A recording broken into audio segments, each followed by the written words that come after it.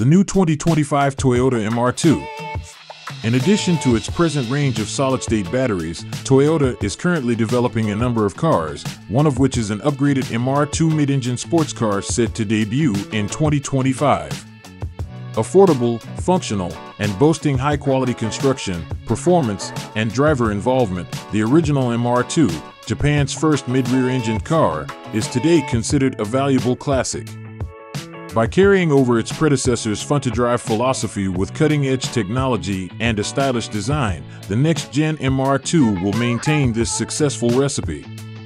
An all new MR2 from Toyota will hit the market in 2025. Reportedly, the next MR2 will be a joint effort between Toyota, Daihatsu, and Suzuki.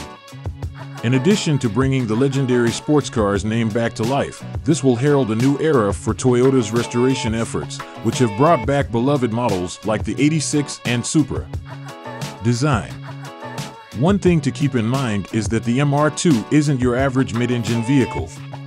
It appears to be no more than a standard coupe with the engine mounted front and center. In 2025, a whole new model will be unveiled, building upon the present MRS. The 2025 MR2 is characterized by a more aggressive and contemporary design. A mid-engine configuration gives the car its distinctive features, such as a short front overhang, a large rear overhang, and a little hood. The 2025 MR2 has angular LED grilles that surround big trapezoidal headlights. Beneath the grille is a sizable air opening that serves to cool the engine. The 2025 MR2 is characterized by strong curves and a low profile. The car's tires are 225/40 or 19 and the wheels are 19 inches alloy. One distinguishing feature of the 2025 MR2 is its wide, flared LED taillights.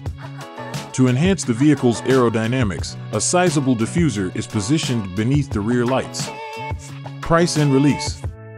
According to the same source, the new Toyota MR2, which is predicted to have an MSRP of approximately $23,000, might be the most reasonably priced new mid-engine sports vehicle by a significant margin.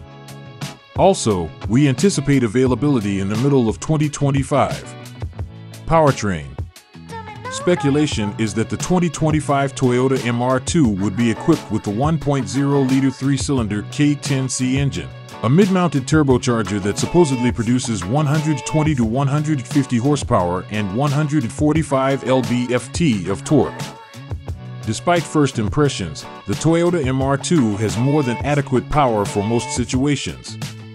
The car has never been about power, so it's easy for beginners to handle. We anticipate that the 2025 Toyota MR2 will be equipped with a manual transmission and a fuel-efficient hybrid engine.